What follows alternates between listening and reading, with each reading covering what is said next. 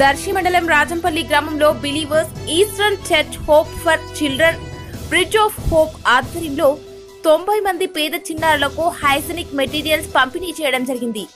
ఈ కార్యక్రమానికి ముఖ్య అతిథిగా దర్శి ఎంపీపీ సుధారాణి పాల్గొన్నారు.